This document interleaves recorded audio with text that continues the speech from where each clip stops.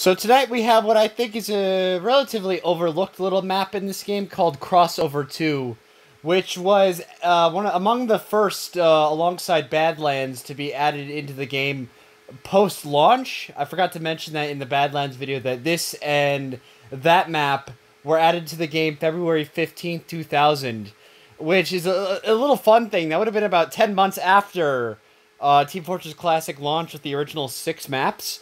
Um, and it's funny because throughout 2000, um, eight maps would be added to the game. So you went from six, obviously, to 14, and then nothing for years until this game was moved on to Steam in, I think, January 2003, and then you'd have Ravelin.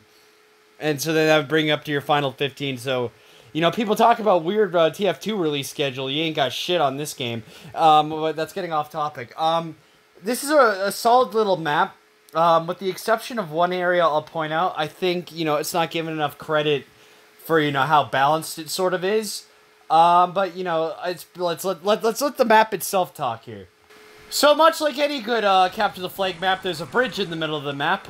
You know, goes without saying. And also a watery area, which has entrances to the enemy base. So immediately, this is screaming of 2 Fort, but it's not the same thing, really.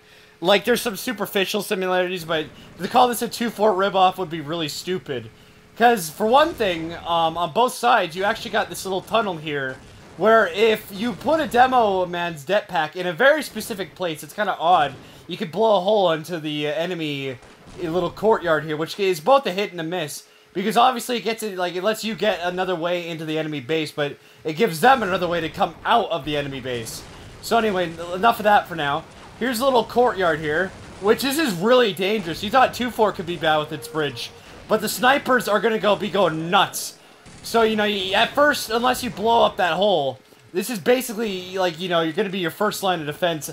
Aside from that underwater hole, which we'll get to in a bit, and this also like Team uh, 2 Fort happens to be where the capture point is in the sniper area.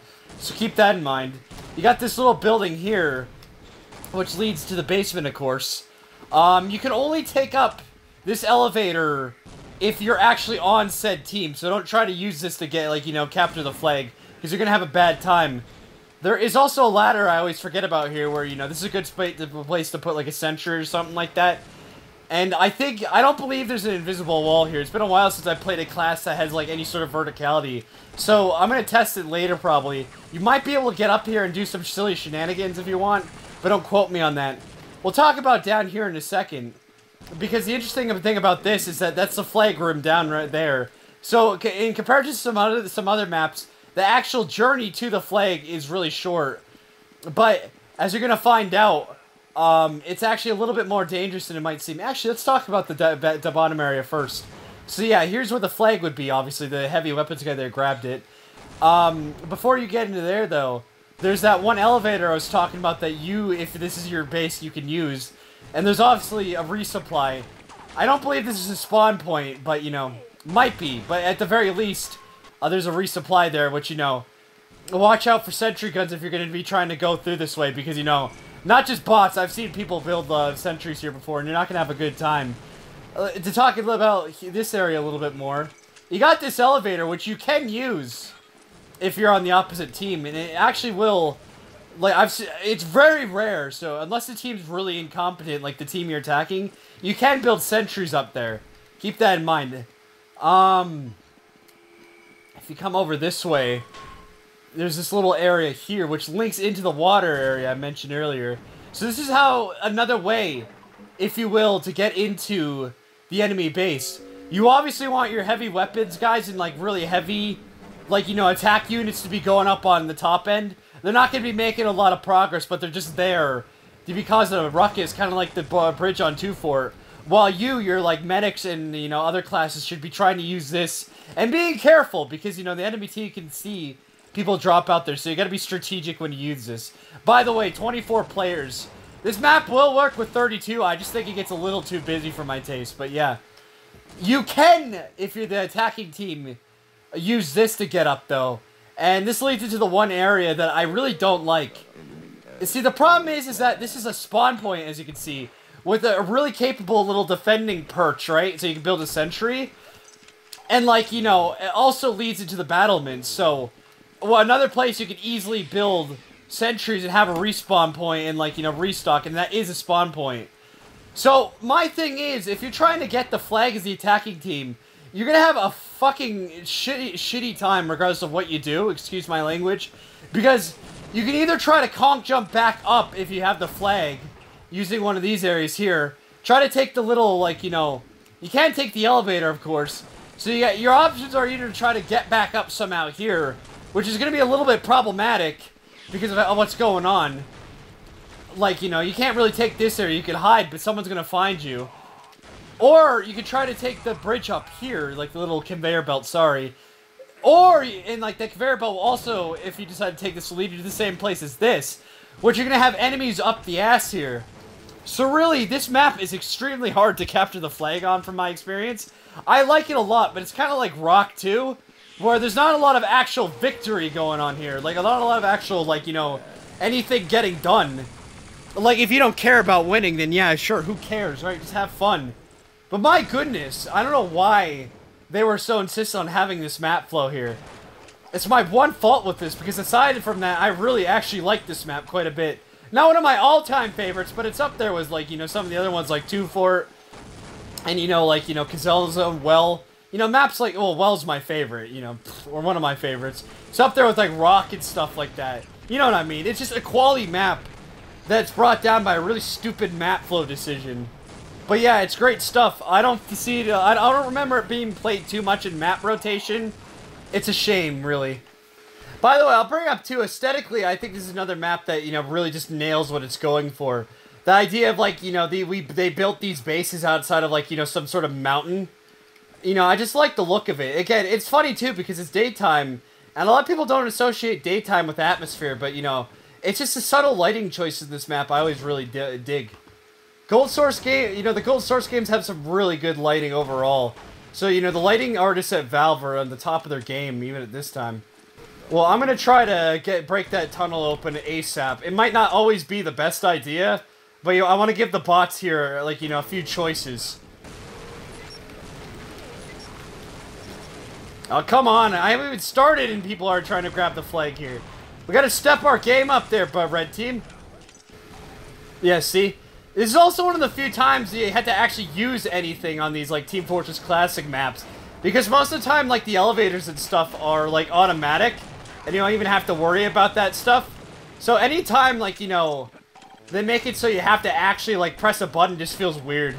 It's wrong, you know? See, sometimes I feel you have to be flush against the wall. Because I swear I've had times where I put it here and it did shit. Let's see. Yeah, see? I don't know. It's weird. It doesn't work on the first go, but maybe you have to do it several times. I actually don't know, so I'm going to test that theory now. I'm going to try it in the exact same spot, that corner there, uh, three times or so, and if it doesn't work, then I don't know. Because you think to put it right against the sign, but that hasn't worked. That's not worked for me either at one point. Let's try it again. See. Moment of truth. I get none, nothing.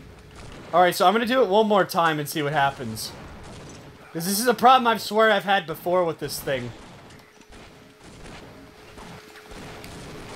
You probably shouldn't have been standing there trying to enjoy the view, my friend. Now look at what you've done! Alright, let's see here. Is third time's the charm? I'm gonna put it kind of in the corner again. I know I moved it a little bit, but still. Okay, so it seems to be you have to do it three times. That's very strange, but maybe they just figured that, you know, having it, like, just get destroyed for less would just not be, like, you know, good balancing. I don't know. Well, I'm over here. I as well try to grab the flag. Never mind. Alright, so now that I'm at it here, too, I need to see something real quick. Well, conveniently, it seems there isn't a scout, a soldier on the team anyway, so let me switch over.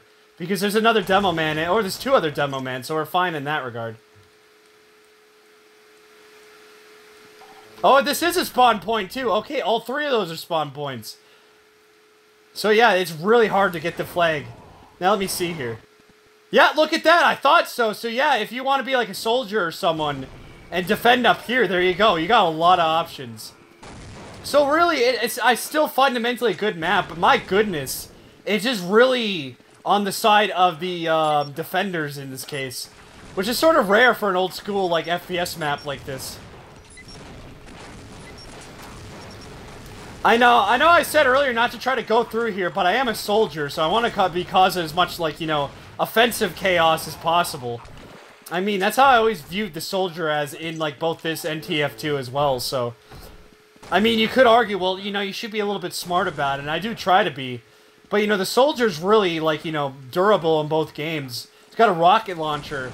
He's just meant to be an attacker. He's the soldier. You know, that's kind of what it's about.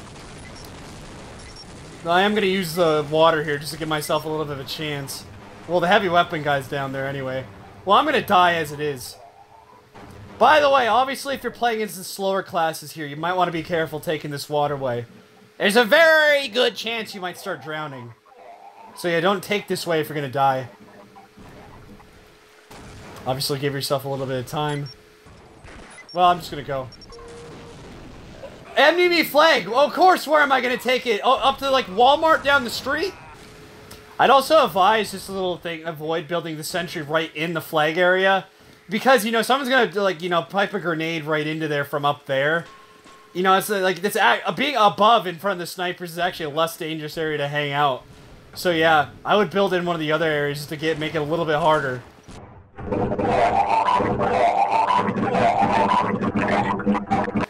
I always hated that one sound clip, honestly, though. As much as I like whoever the like the random person did the voices for the grunts in this game, that you know the sound, the drowning one. I always kind of hated it. Actually, I'm very shocked that they haven't tried to uh, build um, any sort of sentry right in like that area. See, this is like the, something that almost never happens. Well, never mind. Fuck!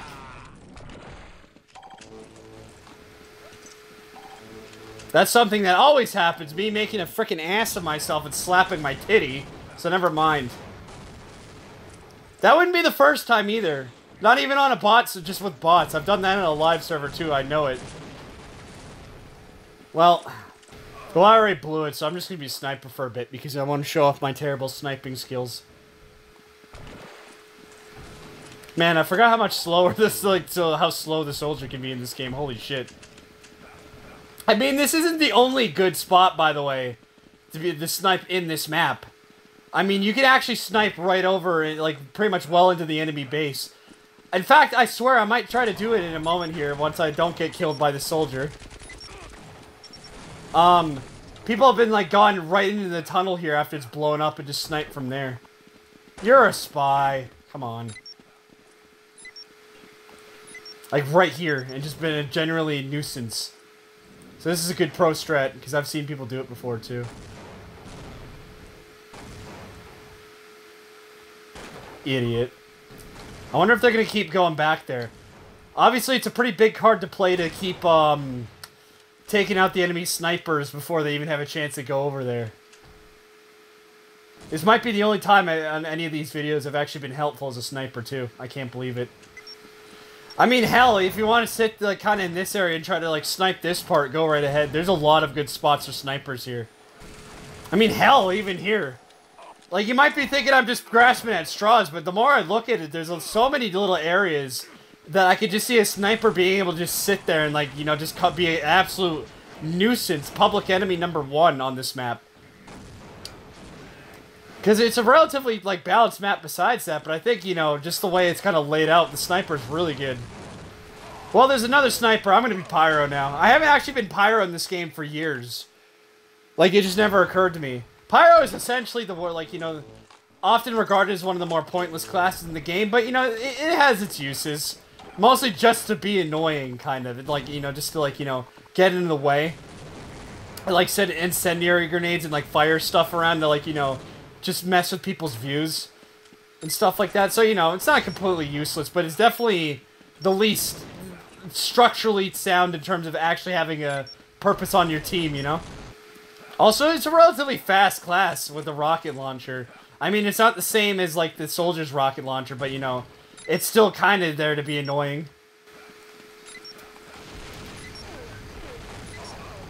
Somehow I didn't see that sentry until way too late. I actually could have grabbed that. If I just shot and been was strategic about it, we could have made that work. I better just rush it to try to keep it alive, huh? Then once I do that, then I'll go back to... Yes! Okay, at least it's alive. That's all I wanted to do, because now I'm going to go around and actually try to you know, shoot that sentry from a distance. Hurry! Hurry! Well, I have the chance. Let's take it down. Take it down! Fuck, I don't know if I did it. Well, better keep that flag alive. Yes! Just keep it alive. Here we go. Here we go. Yes! Yes! Okay, we got this. We actually...